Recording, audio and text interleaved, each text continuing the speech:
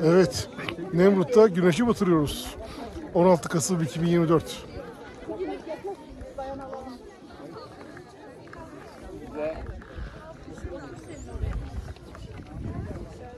Burası Doğu Terası. Güneşin batışı buradan izlenirken arka tarafından da doğuşu izleniyormuş.